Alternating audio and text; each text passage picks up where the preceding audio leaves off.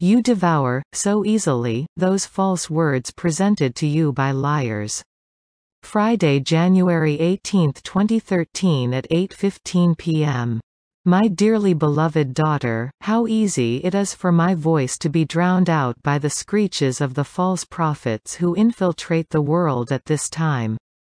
How foolish are those amongst you, including my faithful followers, who are so hungry for my love, that you devour, so easily, those false words, presented to you by liars. Don't you know that I only convey my word to, but, just a few souls? Have I not told you that my words, given to you, now, are the last of their kind? Why then do you eagerly seek out the words of newly declared prophets who claim to speak on my behalf? Their desire is to seek glory and attention. What they do is feed my flock with a weak alternative, full of words with no substance. For many of those poor souls, they mean no harm as many are being led by their devotion to me, in order to impart the love of God.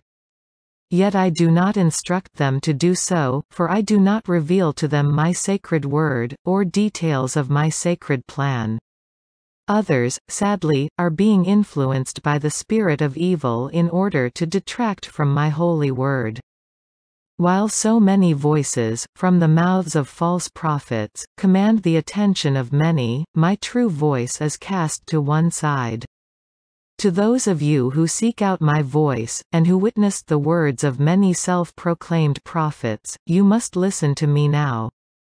There are chosen souls through whom I have communicated for decades.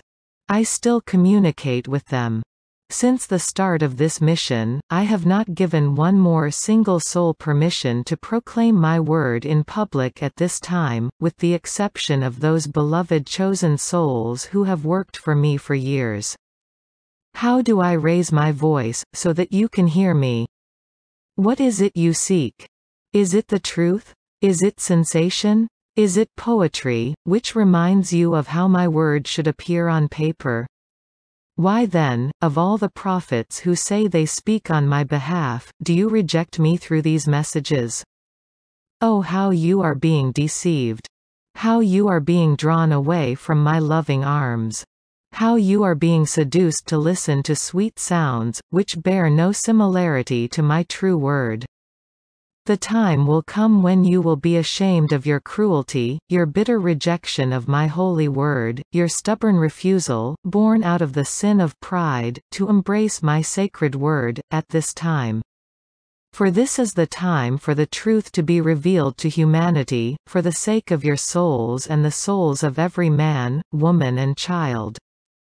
I promised the world that the truth would be revealed to them during this time, yet so many of you are blind and deaf to the Word of God. I ask that you reflect on your quest for my mercy, my word and my promise.